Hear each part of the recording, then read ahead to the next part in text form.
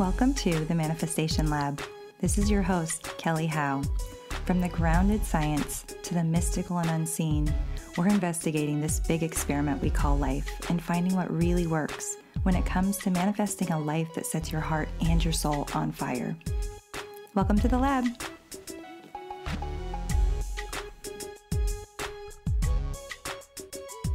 Friends, the message of the day is this listen up. Are you ready? Your body is always talking to you. Always.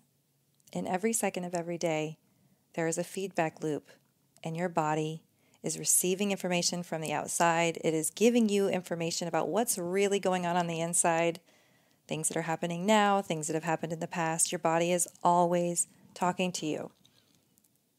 I know a lot about this. In fact, my body has been gradually over time getting louder and louder and begging me to make some changes in how I spend my time, where I focus my mind, and some attention on old movement patterns, some very dysfunctional old movement patterns that have been influenced or likely even caused by past mental, physical, and spiritual trauma. You see, our past is being reflected through our well being all the time, particularly the unprocessed and unhealed past. The way that our body speaks to us, of course, is not with words, but with sensation and eventually pain. I know we all go through pain at some point in our life. Physical pain can be an in- indicator that, yes, perhaps there is an old injury or a new one, or perhaps there's some sort of functional imbalance, but it's always worth asking the question what is the deeper meaning and intended message of the pain that we are experiencing day in and day out? Is there an old injury with emotional pain asking to be released? In the work that I do, I see this all the time. There is absolutely some amount of emotional pain in every single physical pain. And when you process that emotional pain, a lot of times the physical pain goes with it, or at least is greatly reduced. Unfortunately, my regular techniques and tactics haven't been working for the pain that I've been experiencing over the last couple of years. So I've been asking these same questions. Is there a habitual way of thinking or beating myself up that chronically triggers tension in some part of my body? Maybe you can relate to that. You're constantly hard on yourself. You have an inner critic that is ruthless, an inner perfectionist that is very stealthy and doesn't let anybody know that you're a perfectionist. But man, that inner critic is really loud, and that inner perfectionist can keep us really walking a line of constant questioning and self doubt? Or is there a message inside of you desperately trying to be spoken? A lifetime, perhaps, of holding back inner truth out of fear that leads to chronic tightness in your throat or in your stomach. These are all questions we should be asking ourselves because our body is always speaking to us. Today, we dive into the root cause of pain with physical therapist Rachel Wittenberger, whose approach to overcoming pain is truly a holistic approach. I wouldn't have worked with her if it wasn't. you guys know that about me. But her work truly encompasses mind, body, and spirit. In fact, on her website, you'll find the quote that says this Wellness is the complete integration of body, mind, and spirit. The realization that everything we do, think, feel, and believe has an effect on our state of well being. Rachel says that the prerequisite for realization of all things is making time and space for awareness. In a culture where busyness is the gold standard, self care is often looked down upon, forgotten about, and even shunned. At Rachel's Mindful Movement Wellness Center, they believe that self care is not only necessary to thrive, it is vital for prevention and healing. Rachel is a native to Kansas City, Missouri, and she received her BHS, BHS and PT from the University of Missouri in 1999 and an MBA from the University of Iowa in 2003, which means that she's been doing this work for over 20 years. She graduated at the top of her class and she began her pursuit of outpatient therapy with a strong interest in hands on manual technique. And despite her training, she was struggling with her own SI dysfunction, low back pain, and other issues. And so it pushed her career to evolve in further ways and in depth studies of mechanics of the pelvis and spine. Her treatments her treatment techniques are strongly influenced by her continuing education in osteopathic manipulation, which is one of the things we really talk about in this conversation because in my personal experience with her, that that gentle osteopathic manipulation has made a world of difference. I'm talking like pain that has been in my back for I don't even know how long, like over five years, maybe longer, instantly just melts away. It is incredible. She's also taken a variety of classes, including things on functional movement, functional nutrition, postural restoration, and she's continually evolving her techniques. Um, and like I said, she's been doing this for over 20 years. Her approach is holistic, it's effective, and I would definitely say it is atypical. Uh, I've been to physical therapists before, and I am not meaning to put down physical therapists because you all do amazing work. It's not that, it's just that sometimes you get stuck and you need something more than just kind of the run of the mill approach. And so, we're going to talk about the root cause of pain, some of the things that are underlying these physical dysfunctions. And even if you're not a local person, I really want you to stick around for this conversation because I think Rachel's going to touch on some points that everyone can relate to. And we talk about ways that you can find somebody, even if it's not her doing hands on work with you. We talk about ways that you can find somebody doing similar work in your area. Um, I also know that she does functional nutrition consults over phone and over Zoom. So I know that we have listeners all over the world now. I think we have listeners in 45 countries, which is amazing. Thank you guys so much for being here. Um, it's so fun to be able to reach people all the way on the other side of the world, and maybe that's you. But even if you can't get in touch with her, you know, be here in person, you may want to chat with her about some functional nutrition approaches and um, what she thinks that may do for some of your physical pain and discomfort and just overall well being. So, you all know I love bringing you conversations with trailblazers, people that really push the boundaries, that are out there finding new ways to do things, making things more efficient, more effective, and cutting through the BS that's out there that just doesn't work anymore. And today is no different. If you want to find out more about Rachel Wittenberger and her work, you can find her at Mindful Movement Wellness Center.com and you'll find ways to get in touch with her there. All right, sit back and enjoy.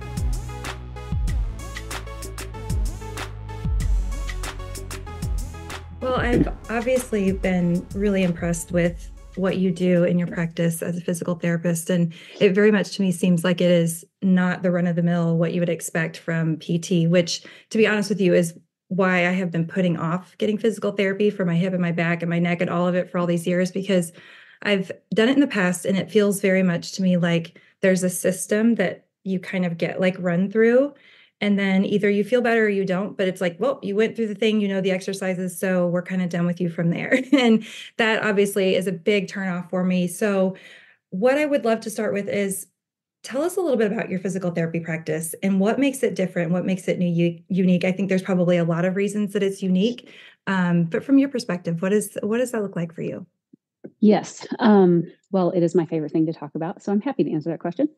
Um, so when I first got out of school, that is what I was trained to do was what you your what your experience has been with physical therapy.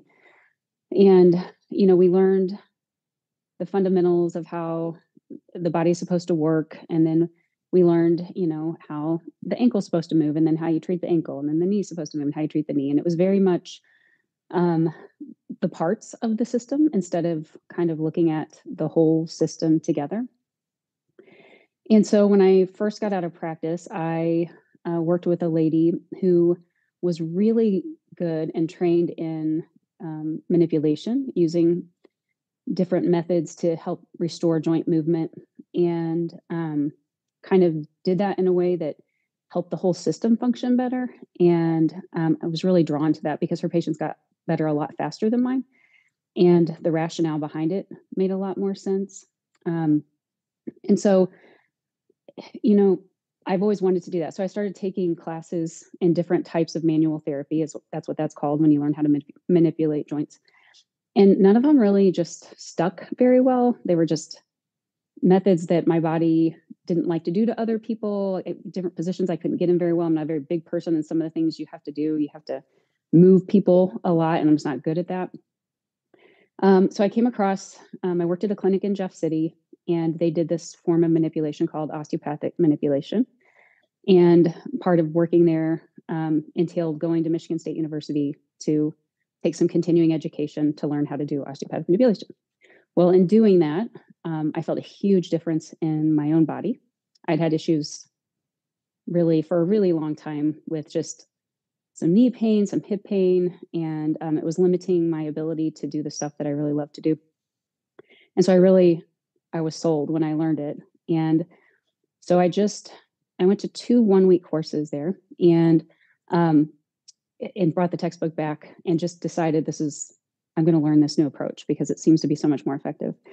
And it really was just sort of, I was led there. I mean, it fell into my lap. I was seeking it and it just, I was so fortunate to kind of step into a practice that made me do it. Um, and so I worked for other places for um, a little bit doing that kind of thing. And eventually I was able to step out on my own and really just make it what I wanted to make it.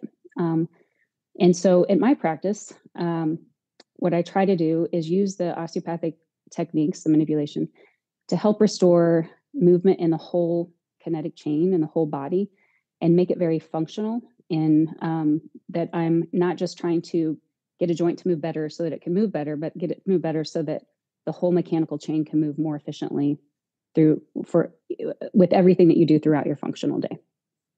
So yeah, that makes yeah. perfect sense. But in that also, so I'm sorry, go ahead. No, no, no, go ahead. Well, go and ahead. then over the years, then I've also realized how much um, other things influence the musculoskeletal system. Like um, I'm very passionate about functional nutrition. So I took some courses in that, couple certifications, and it's incredible the impact our nutrition or our lack of ability to absorb, our um, hormone imbalances, our stress levels, our lack of sleep, our lack of hydration can influence our pain and muscle aching, and therefore our propensity to have more joint restriction. Um, so I study all that. So I try to incorporate that into my practice and asking about that and help guiding people, not trying to play doctor, but just guide within my scope of practice. And maybe that means guiding to a doctor to get different lab tests done. Um, and then also, um, I like to incorporate the impact that trauma may have had um, on somebody and on their musculoskeletal system. Um, the when the nervous system has been overactivated for long periods of time, it shows up in the body. Um, you can almost feel it in the tissue. The tissue gets really tense. People's demeanor is a little bit different. Um, so really, just even trying to get people to talk about that a little bit, and so that I can uh, refer appropriately to address that as well. So. Yeah, well, you're definitely speaking my language, and that was one of my one of my questions. One of the things I wanted to touch on was how does trauma impact the work that you do and how does trauma impact these dysfunctional patterns that we accumulate through the years? And for example you know i've been working with you i've i think i've had now four or five sessions with you. And um, one of the first things when you were doing your assessment you said your i had gotten used to my center of gravity being a little bit off to the right. And my question for you is i've been just kind of thinking about it and what you know what do you think trauma might be you know and how might this be influencing that that kind of like finding a different center? Yeah um well i think it has a big impact because i mean if you really follow it all the way upstream trauma when it overactivates your nervous system it sets off a whole cascade of chemical um, changes in the body. And and part of those chemical changes are um, going to influence how much inflammation you're holding in your system. It, it, makes it makes you produce more cortisol, which then that influences everything that your hypothalamus and your pituitary talk to, uh, which is your thyroid and your gut and your sex hormones, and all of that. When it increases your inflammation in the body, inflammation takes up space in joints, and so if I um, if I've ever fallen hard on, in my life and landed hard on my butt or landed hard on a, an extended leg or knee, and things have been shifted a little bit mechanically, somebody who hasn't had trauma, who whose gut works really well, who does all the things, gets good sleep, stays hydrated, they may be off a little bit and they might feel like a little bit of discomfort, but their body is real resilient and it can handle and adapt to it fairly well. But if somebody's been through a lot of trauma and they have more inflammation. That inflammation is going to take up space in vulnerable tissue first. And so if I'm a little bit off the joints that are already restricted are not going to have any chance really to get into a better position because that inflammation is going to take up some space in that joint to prevent it from doing what it's supposed to do.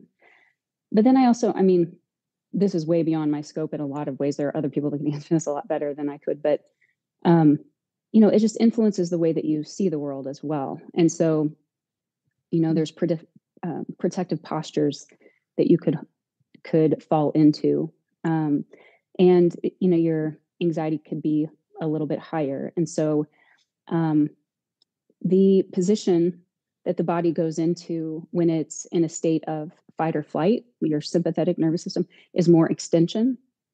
So if you like think back to biology mm-hmm. class when you're dissecting a frog, like they're all just like in extension like this and their legs are all straight. So is that what I've been doing? Because well, that's I mean, I'm I'm totally open to talking sure. about myself by the way. yeah, for sure. That's I mean, that has been part of your issue is is too much extension. And mm-hmm. you know, also your your history of dance. Um, so I don't know if you were drawn to that because you were so good at extension, but people who dance tend to be Maybe. more into extension as well. But um, that extensor posture um, just lends itself to not being biomechanically efficient. It causes compression. And then compression decreases the blood flow to tissue, and a lack of oxygen to tissue is what causes pain. And so that's kind of how all mm-hmm. that feeds in into it. It's so fascinating. And one of the reasons I was drawn to you is that I know that you work mind, body, and spirit. It's not separate. It's not these like compartmentalized different pieces. It all flows together. And one of the first things that you asked me, you know, when you were assessing me and you were finding that my center of gravity, I had gotten used to it being a little bit off to the side, um, was if I had a stressful childhood. And the answer absolutely is yes. And so what I think and what I'm wondering is that these patterns have probably been there. I mean, like probably my entire life. And specifically today, we were really working on my posture and pulling, like pulling my, um, you'll say this better than I am, but like really pulling my neck into alignment and like sort of pulling it back.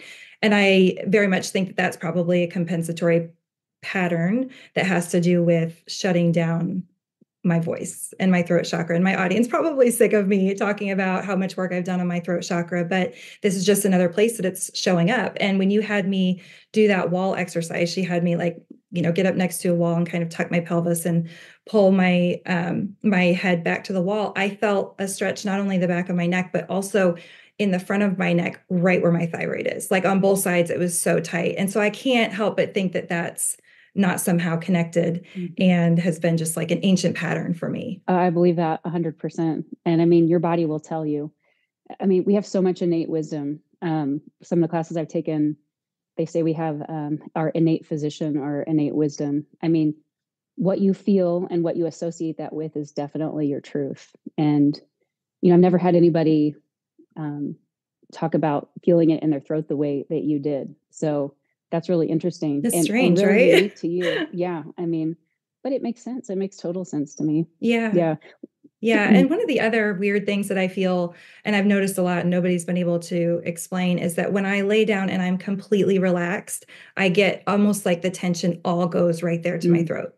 Like no matter what I do, no matter how much I breathe into it, like when I lay down for massage, that's pretty much always there. So I think it has to be related. Oh, I 100% believe that too. And especially when you lay down and are totally relaxed, the body will go into it'll take the path of least resistance. So it goes into the pattern of tightness that that you've been in um, for you know a long period of time, and your neck does what your low back does. So when you lay down, because of um, the tightness of the front of you and your anterior chain and how much extension your low back has been in, your low back goes like that, and then your neck goes like that as well, except that your head is up against, you know, you're laying, it, it has contact on whatever you're lying on. Mm-hmm. And so you're just feeling the pull mm-hmm. right there. So yeah, it's so strange. Yeah. Okay, so the dancers listening. Yeah. Let's talk about dancers and how much dysfunction we have. Yeah. So what I'm hearing you say Rachel is that doing a toe touch and landing in the splits mm-hmm. could have been a big factor or doing a back handspring on the beam and landing on my crotch yeah. could have yeah. could have been part of this trauma, right? Yeah. So talk to me about some of the dysfunction that dancers specifically deal with. And we've already talked about it some, yeah. but because I think there's probably some listening that are like, oh, wow, maybe that's me. Yeah, so there's a lot. Um, first of all, I think dance is an amazing art and it's beautiful and love all the people that do it. Um, but kind of like we talked about earlier today, there's a you know, there's a spectrum between stability and mobility. And part of the art of dance is to have excessive mobility, excessive flexibility, which makes you not very good at being stable and holding your joints in a good position. And so that's and we can be incredibly strong in that dysfunctional very way. strong in that dysfunction. I mean, you right. That's what you strengthen in day after day, hour after hour, because that's another thing with dance is the amount of hours you guys put into your practice is insane. And um, especially from what I've seen in Columbia, is that they start so young, and during all those formative and developmental years, they're just stressing and stressing and stressing their tissue.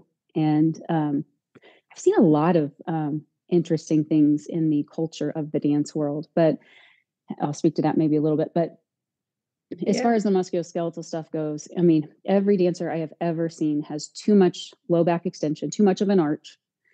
When you throw your pelvis forward and arch your low back, then it um, causes your femurs, your thigh bones, to sit more forward in the hip socket. And so, a very common problem with with dancers is impingement in the front of the hip, groin pain, mm-hmm. um, labral tears. Um, the labrum is, uh and that like does that go along with that hip snapping? Because yes. I know that's a common dance yep, thing. Yep. Yeah. Um, all of that. And and so there's all of that. So as as your low back becomes more extended, the brain really wants to get you in the most ideal position to breathe. And so if my low back goes in excessive extension, then what it does is it makes my ribs up here rotate this way to better place my rib cage over my pelvis so that when I take a deep breath in, my diaphragm can descend without any resistance. And this is an easy thing to try in your own body. If you sit really, really tall and arch your back and let your rib cage kind of pop, and then try to take a really deep breath, and then you put it in a better position, a stacked position, kind of like we've been working on, and you try to take a deep breath, you can feel the difference. You can feel how much better expansion you get in your rib cage, both front to back and up and down. And um, so dancers with a big arch, big arch in their low back and their rib cage kind of popped forward like that, the the ribs higher up will start internally rotating to create a better position for the diaphragm. But then at the neck, what happens is I will end up doing this so that I'm not mm-hmm. following my ribs and just looking at the ground when I'm walking. And so that becomes a problem. But then the other problem is that if I'm my rib cage is popped in front of my pelvis when I take a deep breath, because I don't get good um, distension of the diaphragm with the deep breath, what I end up doing is reinforcing that arch with every breath that I take. And so when I'm mm-hmm. doing that, I'm also getting more elevation of my shoulders, which feeds into more sympathetic dominance. So more of the fight or flight, more of the anxiety. And then dancing itself psychologically is it's full of anxiety I and you're performing the spotlight is on you mm-hmm. and you know I've also noticed that teachers can be um, pretty strict in the dance world, especially ballet. Yeah, absolutely. Yeah. And so, mm-hmm. and a mm-hmm. lot of times I've seen um, ballet specifically, like they try to push their students through the pain because a lot of the teachers were taught old school. And that's how it used to be, from what I understand, is that, you know, oh, yeah, you know, don't be weak, get out there, perform anyway, tape it up or do whatever mm-hmm. and just mm-hmm. perform. Right. And I mean, and that's the whole Absolutely. that feeds into a whole, you know, psychological issue, changes your paradigm as you go through life, you know, if it's not something that I feel like you address, you know, later on.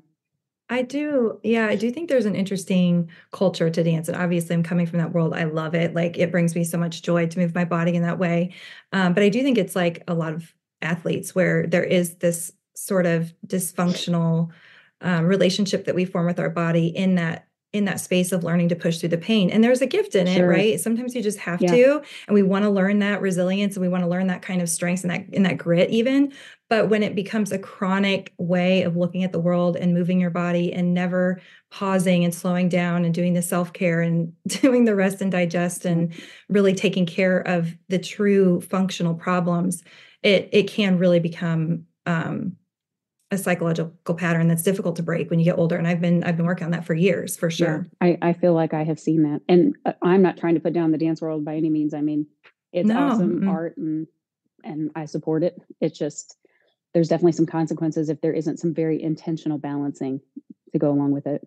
And I also think, kind of to speak to that, is um, since you are in the spotlight, I feel like there's a lot of eating disorder yeah. um, culture in dance as well, just because you're sort of defined by how you look on stage and and what you're doing. Mm-hmm. And um, so I've just seen a lot of that too, which then you know that just feeds into your tissue being less stable. Like everything just becomes more fragile mm-hmm. when you're not getting the nutrients that you need as well. So there's a lot there.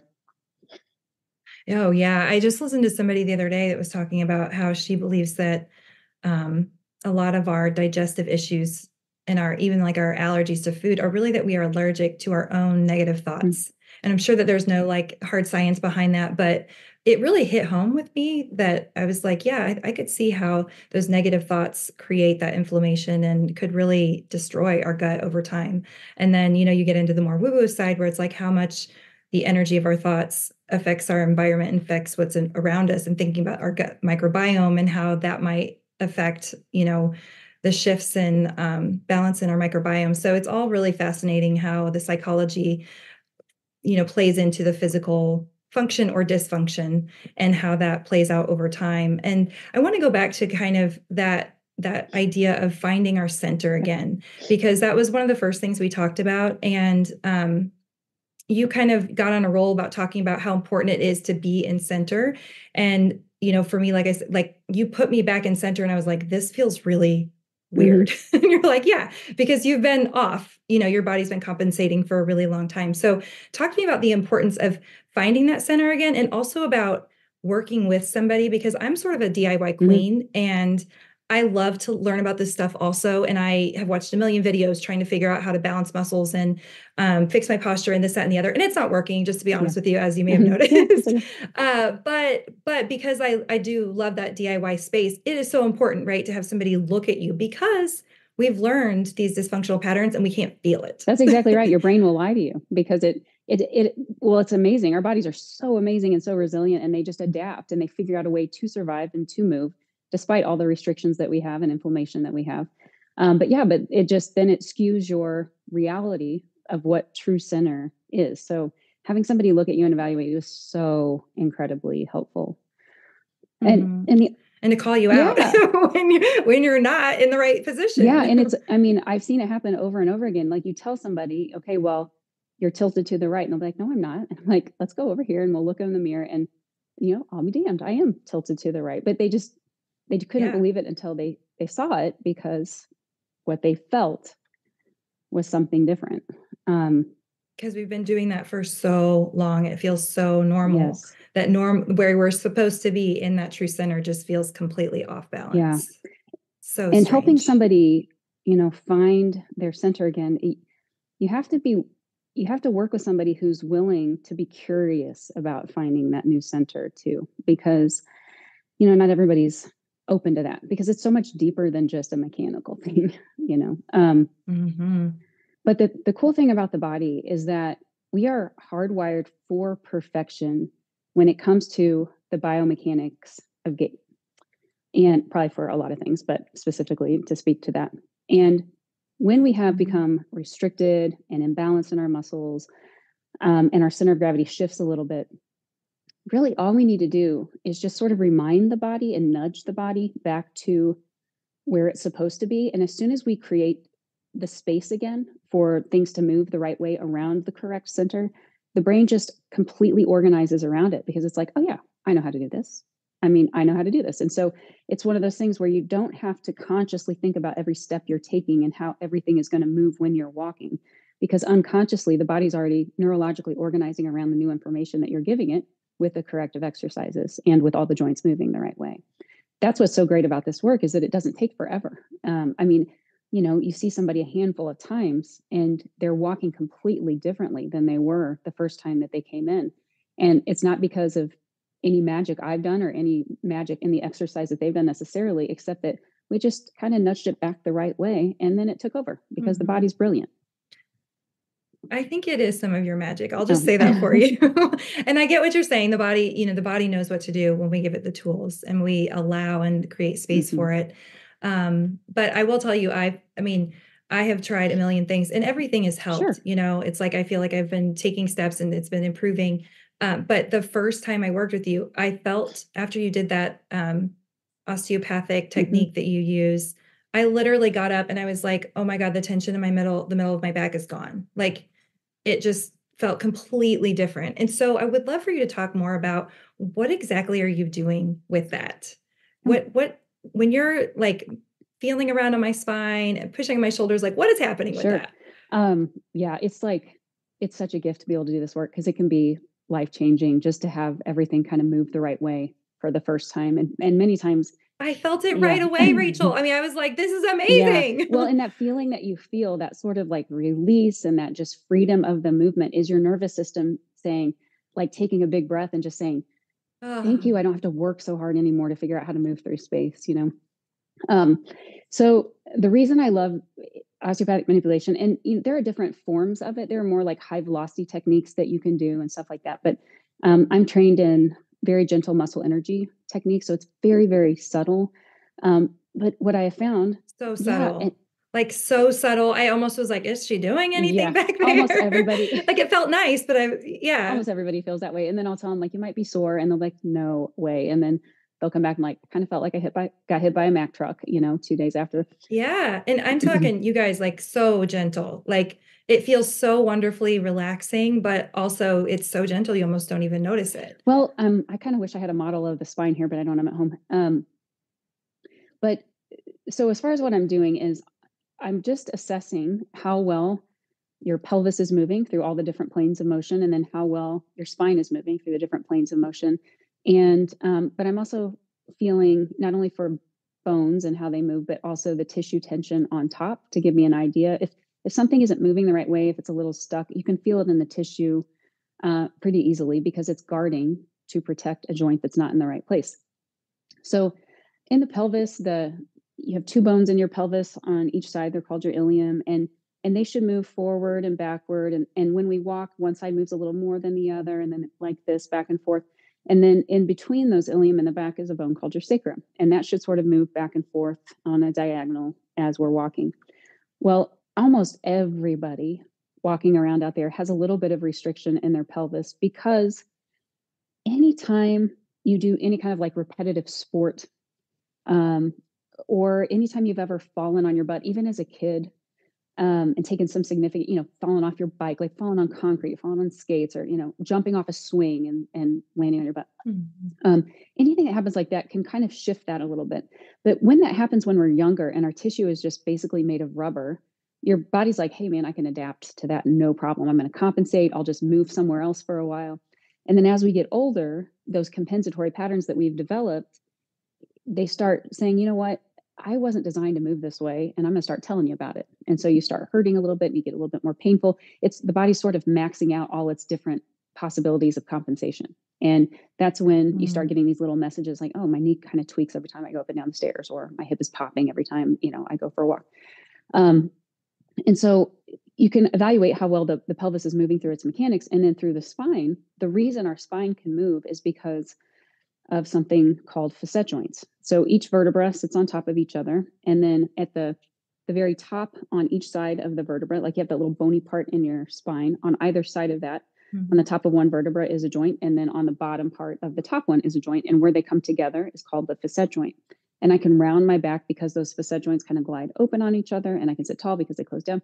And so, what I'm feeling for as I take you through flexion extension is how well those joints are moving together.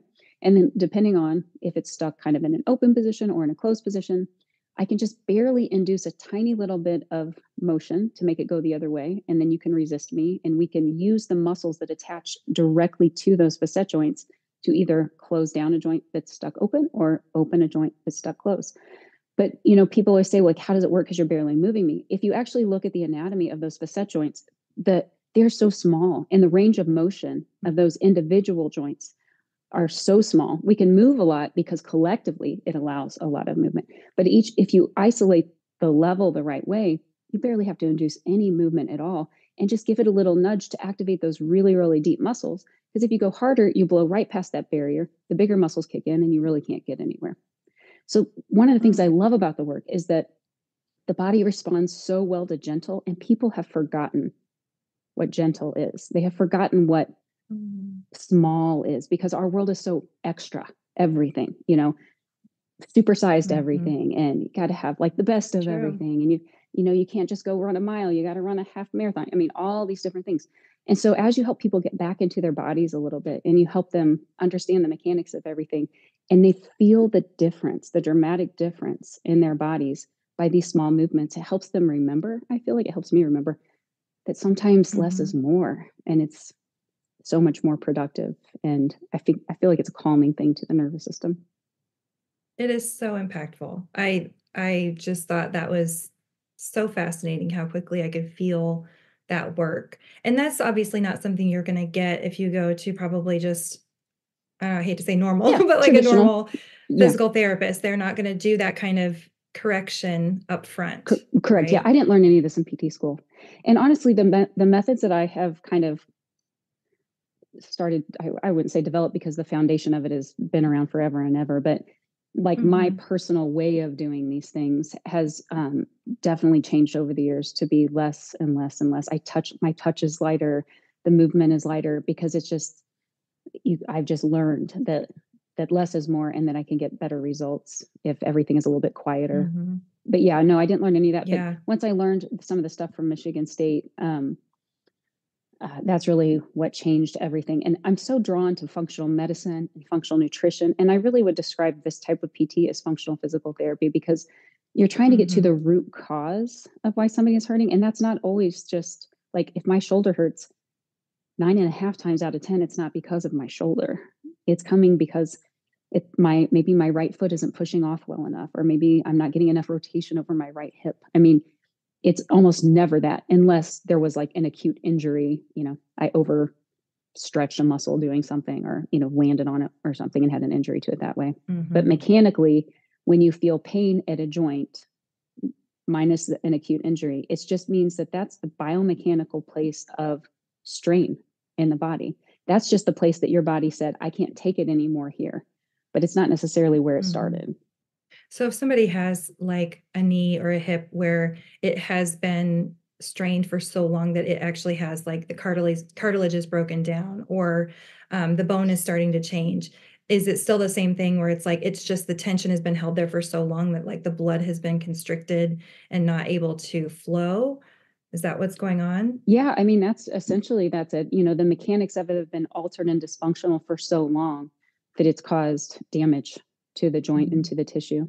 Yeah. But it's still not necessarily the the root cause of what that no not is. no yeah. not necessarily at all no i mean the knee maybe has been um, in a dysfunctional position because the um, right hip wasn't able to drop down during gait i mean but over and over and over for years. And that person just happened to work in a factory on concrete day in and day out. Or you know it was just sort of become whatever their environmental circumstances and have been and their lifestyle like what activities they do repetitively or what postures they take repetitively they just have contributed to you know causing more dysfunction and um, exacerbating the dysfunction that they have mm-hmm.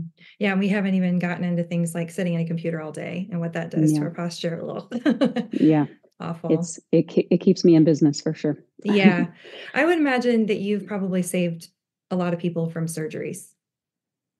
I mean, I really hope so. You know, it, in an ideal world, I feel like um, this work would be done at every doctor's office and every orthopedic office, and and really, I mean, I've thought about this so many times. But if there was a way to implement, you know, how they used to, I think they might still do it, the screening process for scoliosis in grade school. Yeah. Mm-hmm. If there was, there is not, there is a way actually to kind of screen it. But if we could implement a screening for musculoskeletal dysfunction, maybe we tied it into, you know, sports or somehow in the schools, we could catch so many mm-hmm. things and preventatively.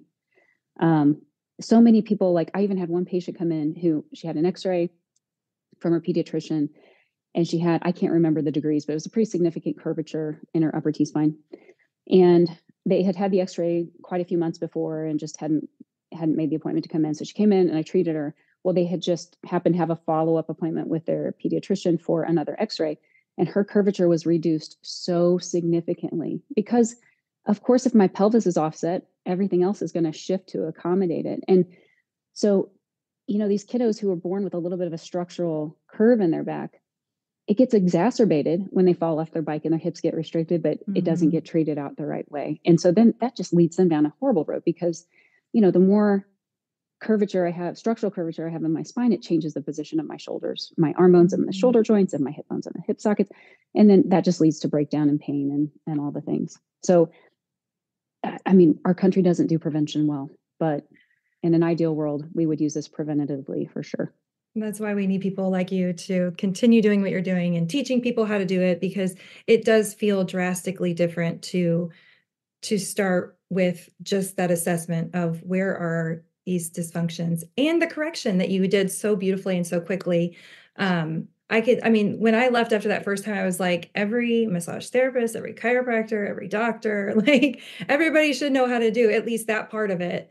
And yeah. then send them to a physical therapist that can help build the muscles and help them, you know, like, but I'm like, I feel like that piece of it, all of it has been so impactful. But that piece of it, I was just thinking like you, like every every physical therapist needs to be learning that. Why is that yeah. not taught in school?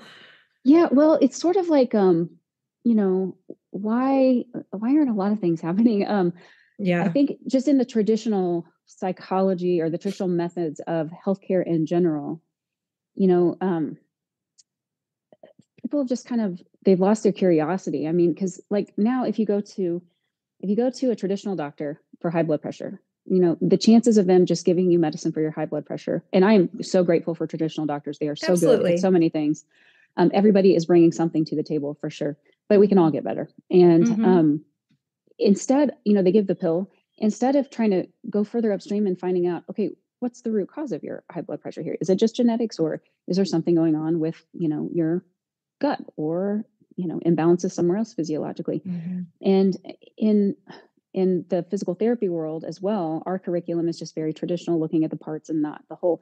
I feel like there's a trend toward functional everything, but mm-hmm. it is I mean, we are battling. It is an uphill battle because we have the pharma industry. I mean, that's yeah, it's so hard to overcome. And the generation they don't, of they don't make money when we feel better.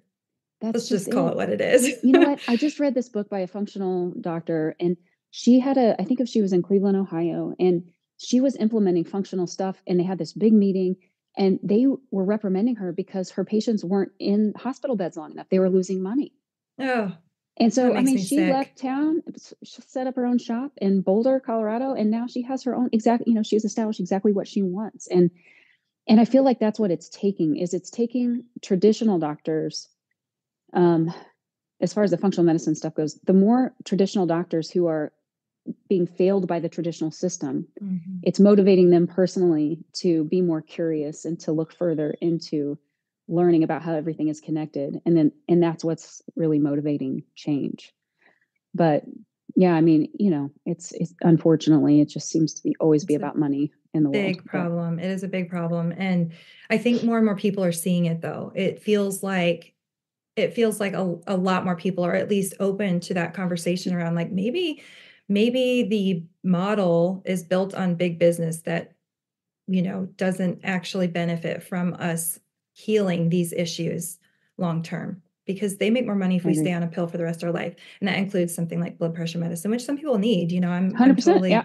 totally Great on board for that. But yeah, yeah. um, but yeah, that that curiosity and that investigation. And I would even say that I have been met with a lot of resistance inside the Western medicine model when I do try to get curious about it. And I feel like I very much annoy people yeah. inside that system. Like, just shut up, Kelly, and just take the fucking pill, you know? And I'm like, right. no, I want to know why. Like, why did this happen? Um, and maybe I'll decide to take the pill, you know, but yeah, but I just I find that there can be so much dogma and resistance that um usually it does take, you know, those of us that have our own issues and we are met with failure to be honest with you, and yeah, disappointment. Sure. And um, then we have to go seek uh, outside sources and get really curious. And we don't have any other choice because we're not feeling better. And it's either a get curious and try new things and usually get woo woo eventually, or you stay stuck in the system and you don't get better. That's right. And and another reason I feel like um, there's more and more um, curiosity about this is because I just think people were getting sicker and sicker because yeah.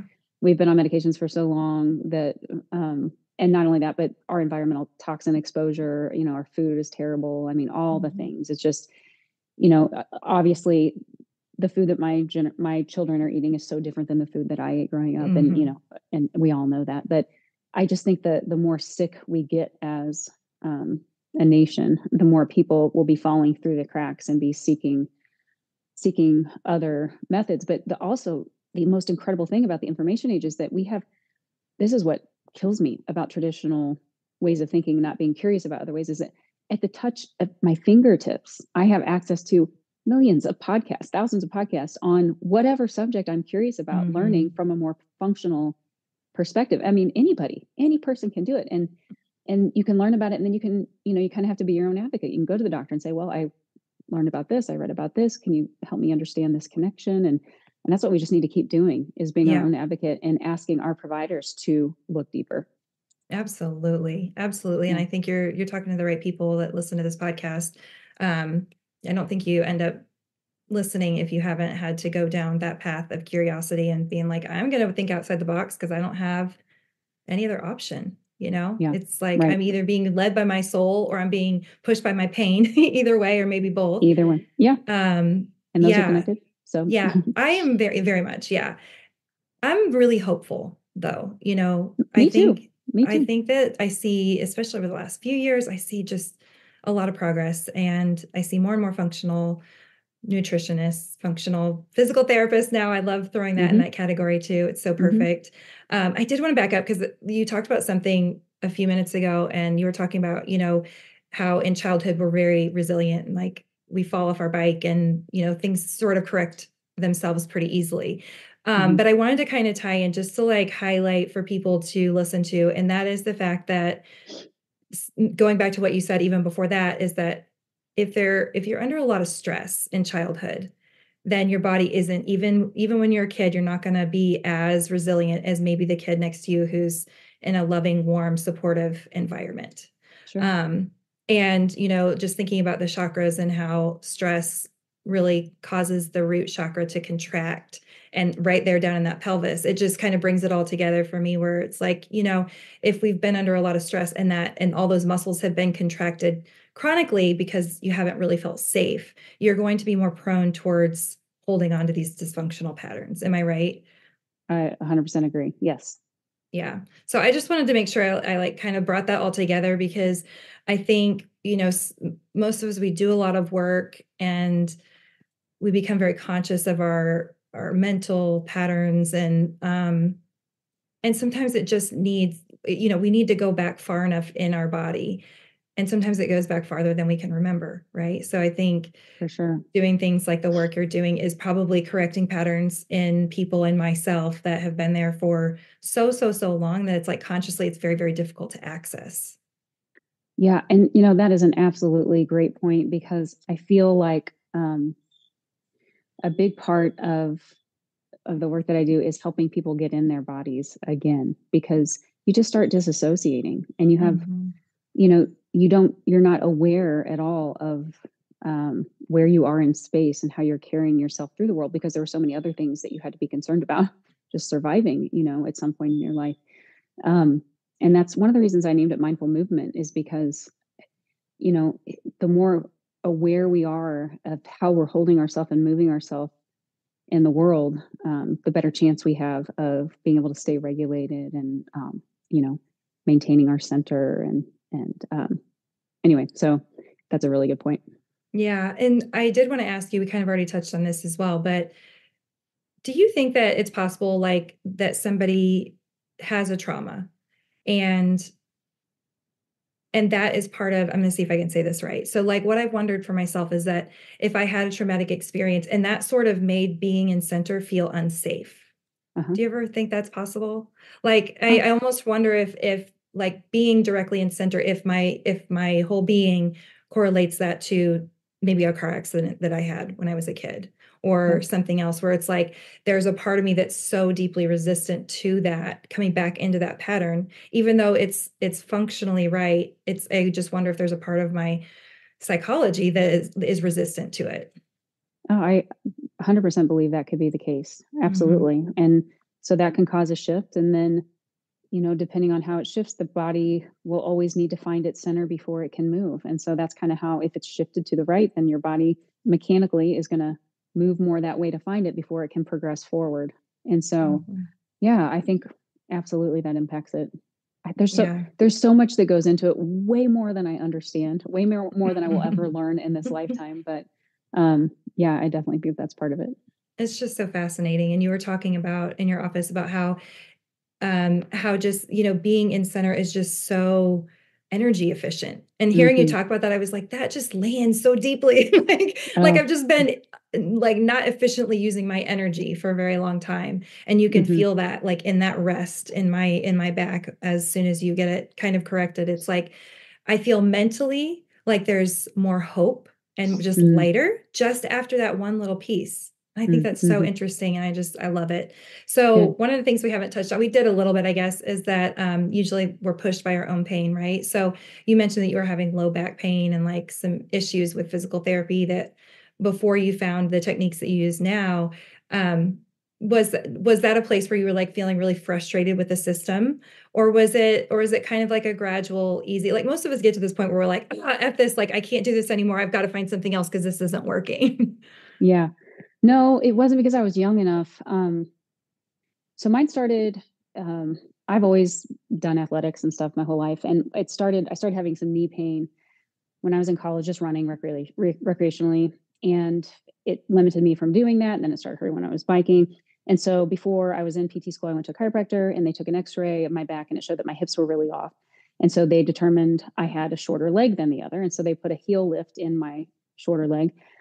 And and I just did that. And I then I ended up with a steroid shot in my knee because it kept swelling and blah blah blah. And I just kind of I my body was over time able to accommodate it for the most part. Um, you know, I was pretty healthy otherwise. And so um I didn't you don't know what you don't know. And I didn't know and I mm-hmm. I couldn't remember what it felt like to move efficiently. I just knew that that was my norm and that I could function pretty much the way that I needed to until I found this type of work and realized I did not have a leg length discrepancy, that my leg looked functionally shorter because of the way my hips were off, and that I had been jamming my joints on that side, making my ups level worse with every mile that I ran and every mm-hmm. step that mm. I took. And so then it was just sort of this step in, stepping into an enlightenment, like, oh, that makes sense now. So fortunately, I was young enough and in this work enough that I was able to manage it, I think, with all the stuff that I knew from traditional PT um, to keep me functioning. But mm-hmm. I see people all the time who definitely get to that point and are just like, you know, I, I don't know what else to do. Yeah. And then they're in pain management and they're doing, you know, shots and pills. And, and, and some people need that and no judgment yeah. at all.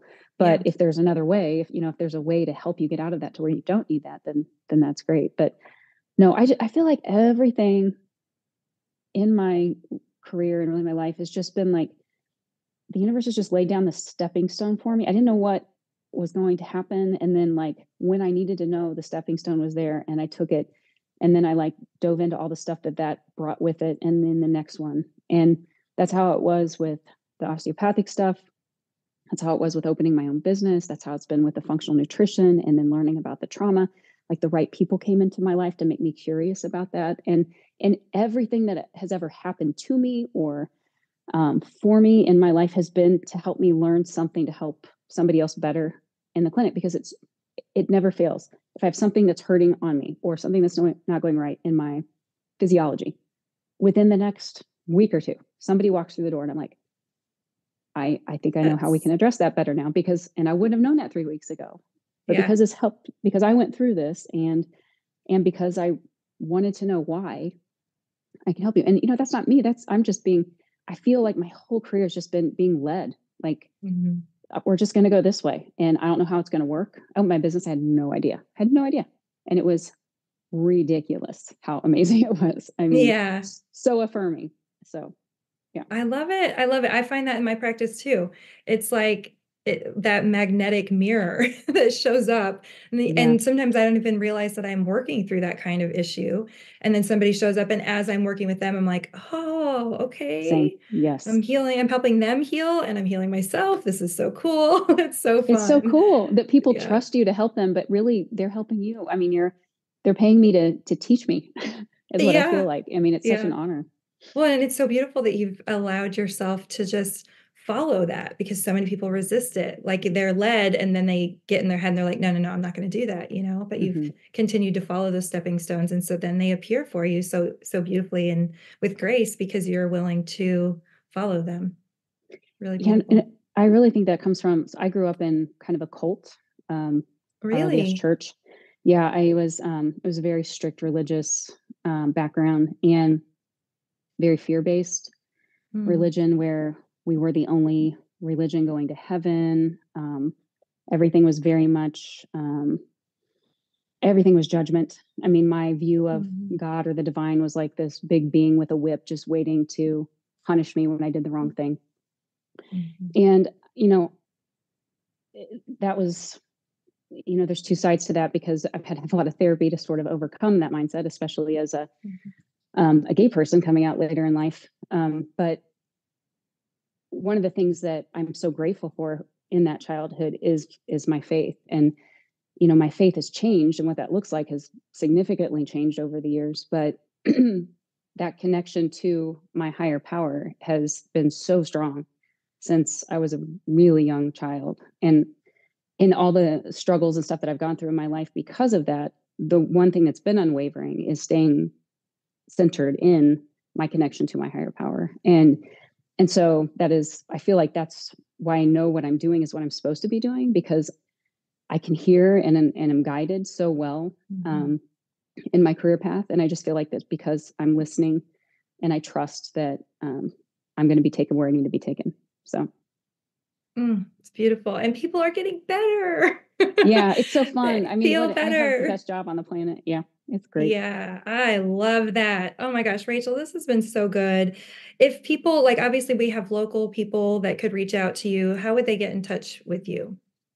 Um, so if you just, I don't even know our phone number off the top of my head.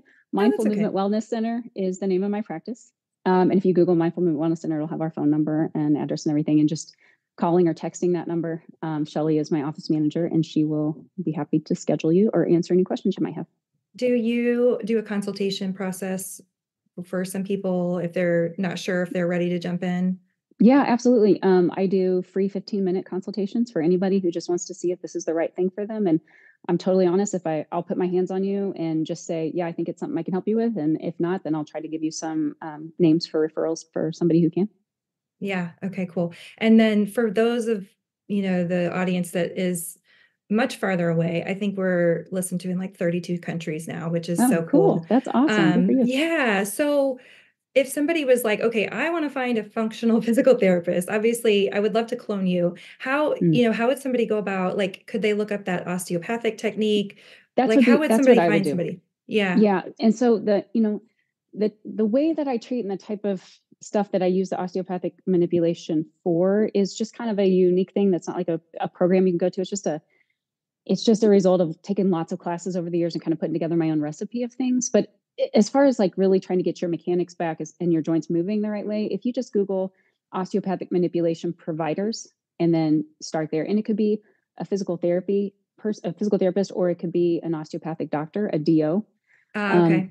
typically the only place that you learn how to do this is in DO school, but so many DOs who are getting out of school now are getting into practices who practice more like allopathic medicine doctors, MDs, because of the insurance model. I found And so, you know, too, they have to see like six people in 15 minutes or something crazy. They, I mean, they're just pushed so hard and they just don't have the time to do it Mhm. and really develop the practice of it. And so there's fewer and fewer people doing it, which is why Michigan State University um, uh, developed their continuing education program and allow they allow PTs, MDs, DOs, and dentists into their program.